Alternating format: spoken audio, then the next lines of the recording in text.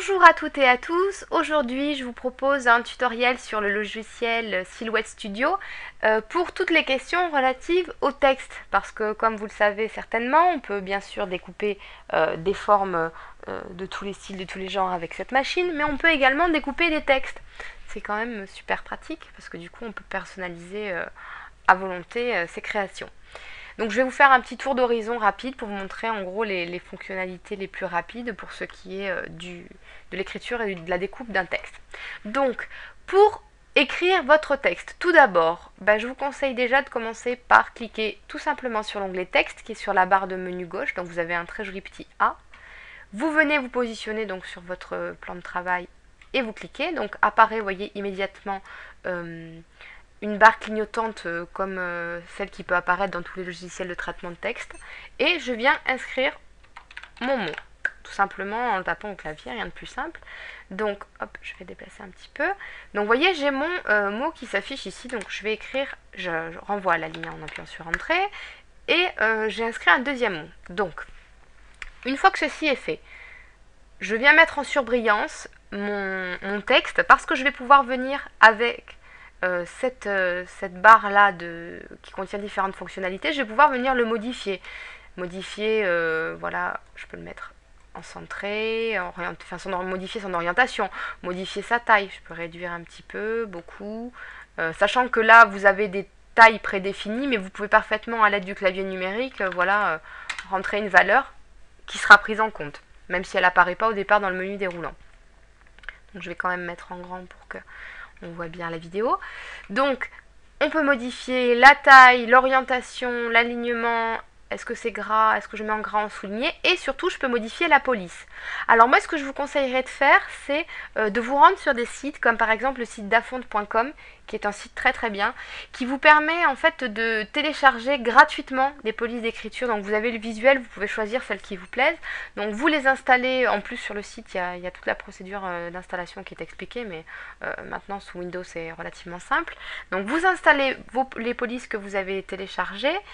Vous pensez à les installer bien sûr avant d'ouvrir le, logiciel pardon, Silhouette Studio, puisqu'il ne prendra en compte que celles qui sont déjà effectivement installées. Mais une fois que c'est fait, vous voyez, quand on ouvre, après on peut se retrouver avec une belle galerie comme ça de, de, police d'écriture euh, pour avoir un peu euh, de tous les styles, voilà. Euh, un peu plus, voilà, celle-là, elle est assez rigolote. donc ça vous, ça vous permet d'avoir vraiment une police qui correspondra au, mieux à ce que vous entendez faire euh, dans votre projet euh, de création. Donc voilà, bon allez, je vais garder celle-ci. Donc voyez, là si j'envoie la découpe, euh, donc j'aurai mes belles lettres bien distinctes les unes des autres. Sauf que c'est souvent le cas, l'idée c'est d'avoir un mot complet. Donc on va pouvoir intervenir pour pouvoir découper en une seule fois des lettres qui seront toutes accolées les unes aux autres. Donc pour ça, il y a deux méthodes. Je vais vous montrer d'abord la plus simple. Donc je reviens, je clique sur ma zone, vous voyez, ça reprend en compte mon texte. Je clique deux fois pour que ça rebascule avec le petit cadre vert. Je resélectionne tout et ici, je vais pouvoir venir jouer sur deux éléments. L'espacement caractère et l'espacement trait. L'espacement trait, c'est ce qui va me permettre en fait de réduire la distance entre mes deux mots, par exemple, plus ou moins voyez Et l'espacement caractère, c'est ce qui va me permettre de rapprocher les lettres les unes des autres en réduisant. Vous voyez, au fur et à mesure, elles vont venir se chevaucher. Je vois les zones de chevauchement d'ailleurs euh, euh, qui apparaissent à l'écran. Une fois que ces zones-là se chevauchent, je laisse en surbrillance, je vais venir cliquer ici sur cette petite icône, souder les formes sélectionnées en une seule forme, donc euh, la deuxième en partant de la droite, et je clique, paf. Et là, je m'aperçois que mes lettres se sont les unes aux autres.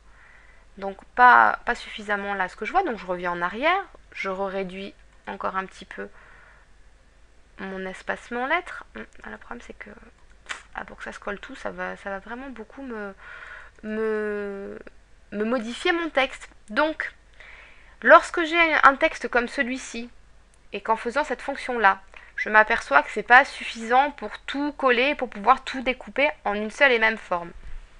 Je peux utiliser un deuxième stratagème qui est un petit peu plus long, mais qui permet euh, de faire exactement ce qu'on veut, qui va consister à faire autant de cadres de texte que de lettres. Je m'explique. Je supprime ça. Donc, Vous avez compris, vous pouvez, voilà, le caméo par exemple, il est super, donc je pourrais le découper tel quel. Maintenant, si je veux que toutes mes lettres soient à un espacement de mon choix, je vais taper, alors tant pis, hein, vous les mettez un peu n'importe comment, hop. Euh, zut. je tape un peu, voilà. Oh zut. Pourquoi je tape deux fois la même lettre? Bon, silhouette.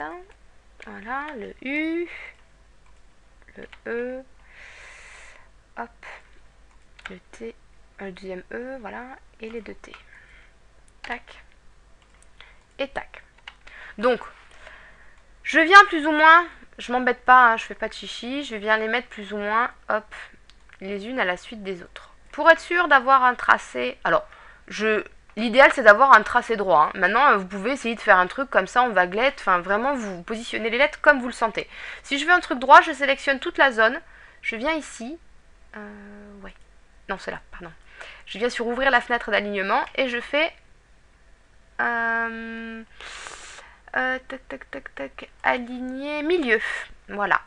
Elles sont toutes sur le même axe, donc là j'aurai un mot parfaitement droit.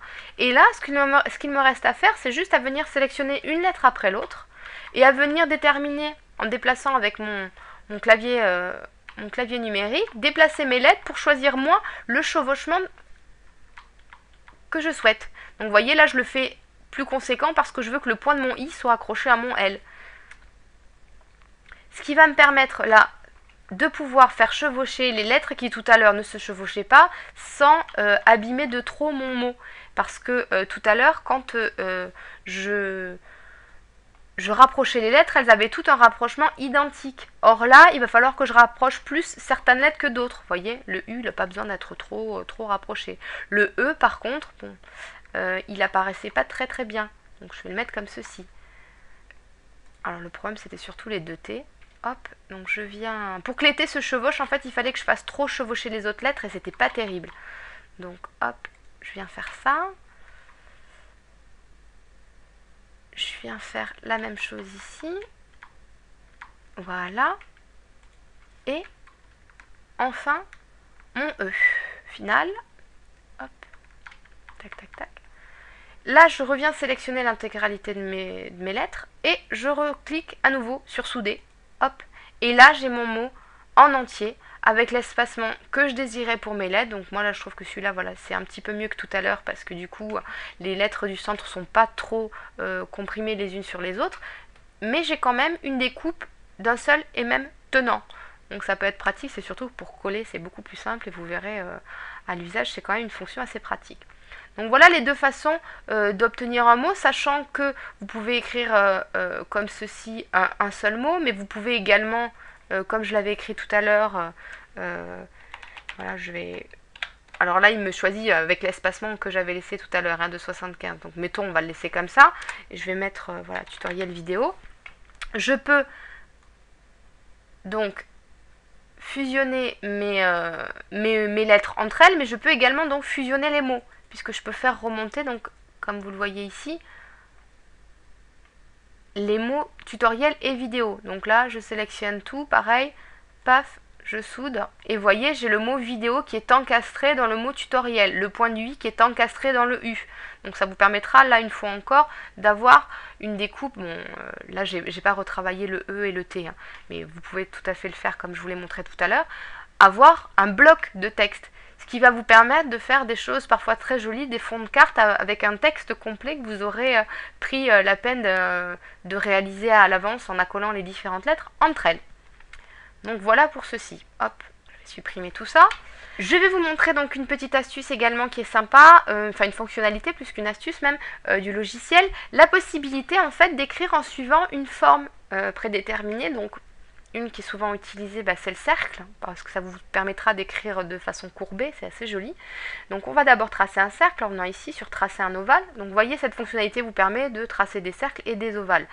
Si vous voulez être sûr d'avoir un cercle parfait, vous maintenez le bouton de votre souris tant que vous n'avez pas choisi à peu près les proportions que vous voulez, et vous venez sur votre clavier maintenir la, flèche, le shift qui est au-dessus de contrôle sur votre clavier, euh, au-dessus de contrôle et en dessous euh, de la majuscule, ça va vous permettre en fait d'avoir toujours un, cercle avec des proportions parfaites, un vrai cercle en l'occurrence.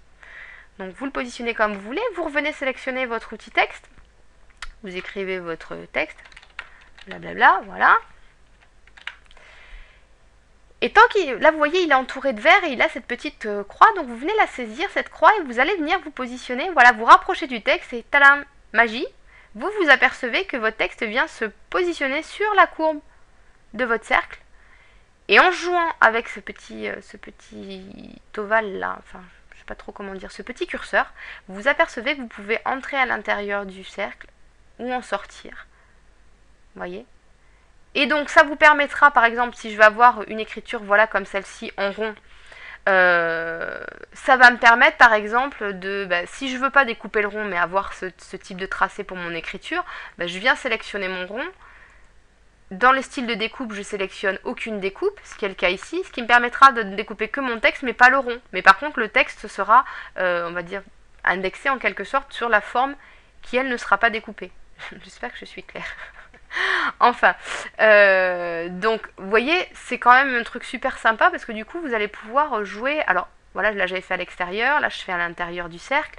Toujours pareil, on peut jouer sur l'espacement des caractères en, en rajoutant, en en retirant. Enfin, c'est vraiment quelque chose de très très sympa. Enfin, moi je trouve que c'est vraiment pratique pour faire des, des, découpes d'écriture qui collent au plus près du motif euh, euh, que l'on a choisi. Voilà, ben c'était un tour d'horizon euh, qui s'est voulu rapide et complet et surtout clair. Donc j'espère que j'aurai atteint ma mission. Voilà, ben je vous dis à très vite et euh, pour un nouveau tutoriel et une très bonne semaine à vous. Allez, bye bye.